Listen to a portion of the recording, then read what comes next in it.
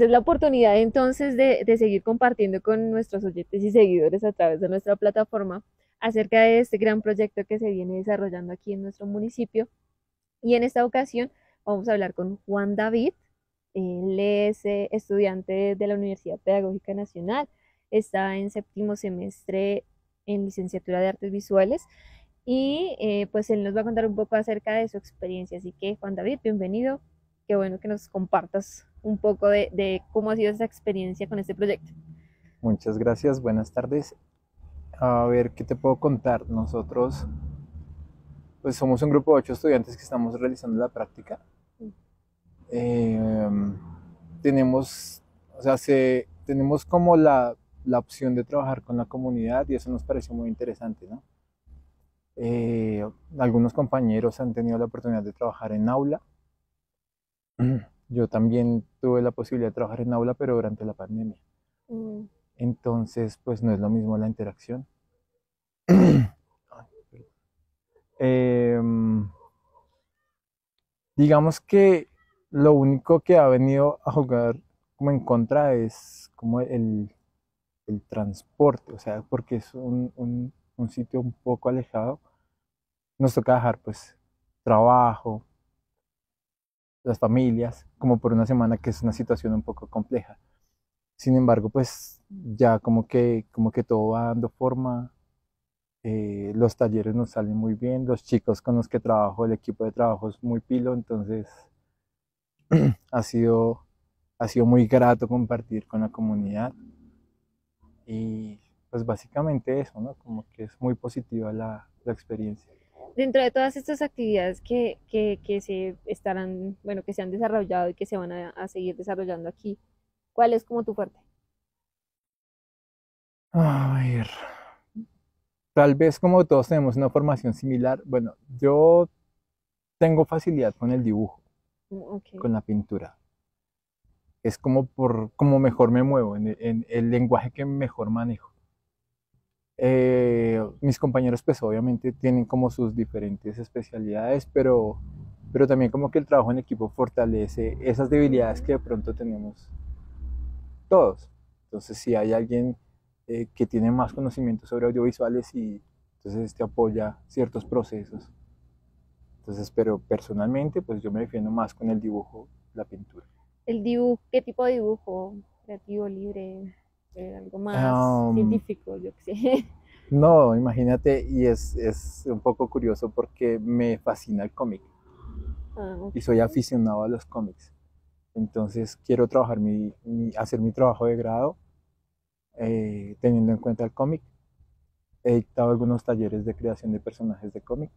Entonces por ahí, eso es como mi fuerte, esa es mi pasión. Y hablando de esos temas de los personajes de cómic y toda esta cosa, ¿cómo así que Superman costeño? el Superman costeño nace pues de, una historia que, estamos creando hace un momento con, unos pequeñines. Entonces, cada uno ponía el nombre de un personaje. Y le inventábamos una parte a una historia conjunta. Entonces, siempre he tenido como, la facilidad de acercarme por medio de, hacer reír. Entonces le di un acento a unos personajes y de ahí salió el, el, Superman costeño porque estamos en una playa, entonces de ahí, de ahí nació. Pues bueno, esto hace parte, les contamos a nuestros oyentes y seguidores, hace parte de, un taller que es eh, creación audiovisual y pues eh, en esta historia estaba este personaje que es bien interesante.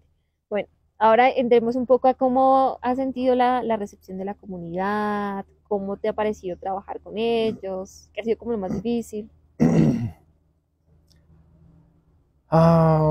trabajar con la comunidad no sé, siempre me ha parecido como, como, como fácil, en esta ocasión es como, como fácil. El, los habitantes son muy cercanos, siempre hay un saludo, siempre hay una sonrisa. Atienden muy bien las cosas, o sea, es, es como, como una disposición a recibirnos, entonces la comunicación es perfecta.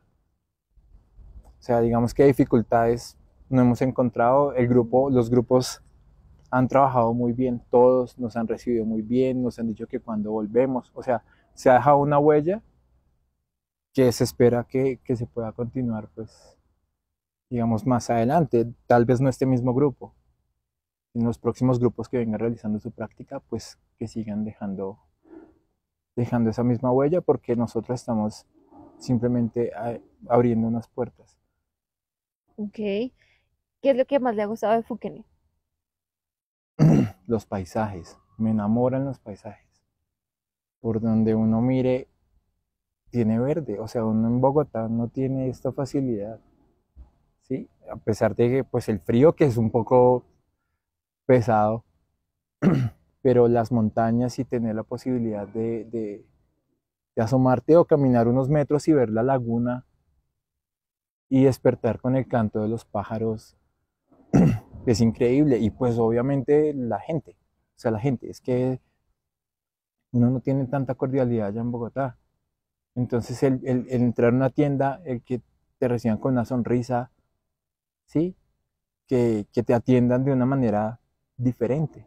O sea, hay como una cordialidad, hay como, como, como cierto trato diferencial. Yo me imagino que con todos, o sea, no por venir uno desde afuera. No, sí, sí, claro, nuestra comunidad fuquenense es muy cercana y, mm, y pues sé que bueno que, que ustedes pudieran venir y vivir esa experiencia aquí en Fuquene, realmente nos alegra y pues Juan David, gracias por compartir con nosotros tu experiencia. Muchas gracias a ustedes por, por la invitación.